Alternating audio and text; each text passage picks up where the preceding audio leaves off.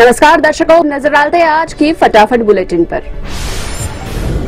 Tokyo Olympic में शुक्रवार को 19 नए मामले सामने आए। कोरोना संक्रमण के मामले बढ़कर 106 हुए।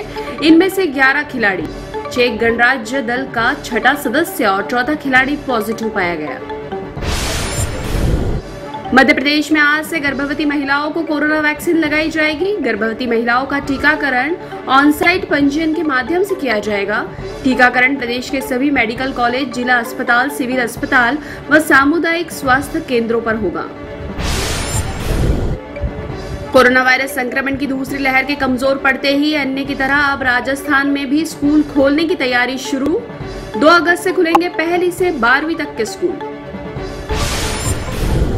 केंद्र ने मीडिया में आई उन खबरों को निराधार और तथ्यात्मक रूप से गलत करार दिया, जिनमें दावा किया गया था कि सरकार ने कोविड 19 की दूसरी लहर के दौरान तेरह हज़ार उपयोग में न लाए गए वेंटिलेटर को रखा था। इन्हें राज्यों केंद्र शासित प्रदेशों को नहीं भेजा गया। मध्य प्रदेश और महाराष्ट्र के बीच यात्री बसों की अंतरजातीय आवाजाही पर लगे प्रतिबंध को मध्य प्रदेश सरकार ने 28 जुलाई तक के लिए बढ़ाया। इससे पहले इस संबंध में जारी आदेश 21 जुलाई तक प्रभावी था। केंद्रीय मंत्री और भाजपा नेता मीनाक्षी लेखी ने गुरुवार को तीन कृषि कानूनों के खिलाफ प्रदर्शन कर रहे किसान संगठनों की आलोचना करते हुए उन्हें मवाली करार दिया, विवाद बढ़ने पर मांगी माफ़ी। टीएमसी सांसद शांतनु सेन ने राज्यसभा में केंद्रीय मंत्री अश्विनी वैष्णव से कागज़ छीन कर फाड़े शांतनु सेन को निलंबित करने का प्रस्ताव पेश करेगी सरकार। वैष्णव उस समय पेगासस सॉफ्टवेयर के ज़रिए भारतीयों की जासूसी करने संबंधी खबरों और इस मामले में विपक्ष के आरोपों पर बयान दे रहे थे।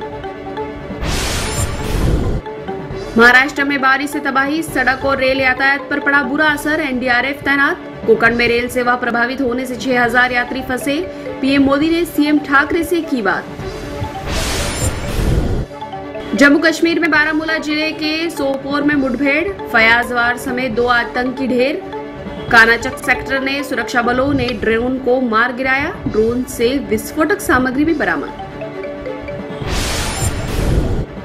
दीपिका कुमारी तीरंदाजी स्पर्धा के महिला व्यक्तिगत रिकवर रैंकिंग दौर में नौवे स्थान पर।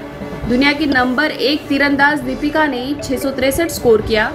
टोक्यो ओलंपिक में भारत की पदक उम्मीद है दीपिका। अंतिम 32 एलिमिनेशन दौर के मुकाबले 27 जुलाई को।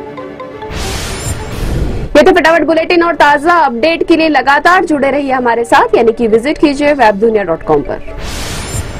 वेब दुनिया की सभी से अपील है कि भीड़ भाड़ से बचे मास्क पहने व सैनिटाइजर का इस्तेमाल करें। साथ ही सोशल डिस्टेंसिंग का पूरा पालन करें।